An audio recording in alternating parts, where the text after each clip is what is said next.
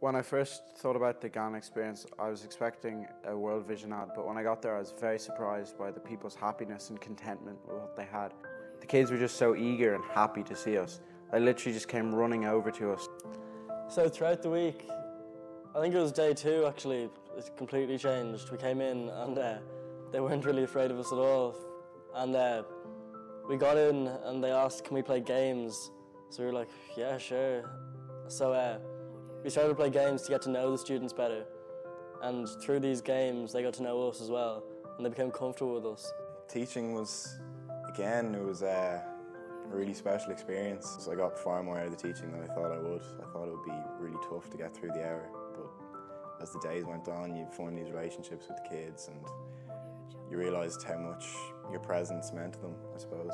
I thought it was amazing seeing how they didn't take anything for granted. If, if one of them got a piece of chalk, they would like it was their kid. They loved that truck, and uh, it was yeah, it was amazing to be honest. We asked them to draw their favourite things, and uh, three of them said a skipping rope because they only had one skipping rope for the kids. So uh, they obviously all loved the skipping rope. I suppose they got as much out of it as we did, which really made it sort of encapsulates the whole essence of the trip. Yeah, the football match was uh, was definitely one of the highlights, especially from my uh, non-rugby playing background, it was the first time that we could all play a sport that I'd say the majority of us enjoyed. Um, yeah, going over was was hilarious and kind of tense at the same time. We had the Irish flags going. Uh, the Foggy Dew was playing as well. It was almost like a, a Conor McGregor walk-in. It was pretty special. James's was a lot different to the teaching. Certainly I think you had to give more in James's to get something out of it. Once you realise I'm in a classroom in Ghana, you really started to appreciate what it was all about. You got to speak to lads your age about how they lived their lives, what they thought of their country. There was some really interesting classes such as government where we learned about the whole political landscape in Ghana and our whole history. Well, we got to share our own Irish history and that was, again, that was an amazing experience.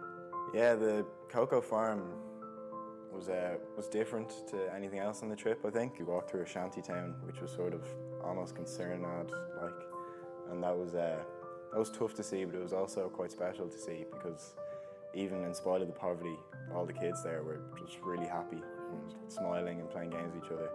And the cocoa farm itself just sort of summed up Ghana as a country in, in many ways. The, like the work ethic, the the way they can sort of build something from nothing, and the whole environment. I suppose. It was it was really good, and um, yeah, it was also interesting to see where we're getting our Cadbury's chocolate from. Just seeing how the locals actually lived and how they shopped and how they went around their daily business was very, very intriguing to me. The people and the culture over there was vastly different to what we experienced at home. And it's something that I'll take with me for the rest of my life, the happiness and the enjoyment these people had for just simple things. There was just an atmosphere and there was noise and it was just so overwhelming for a Westerner to experience. I do believe that this is an experience that I'll cherish for the rest of my life.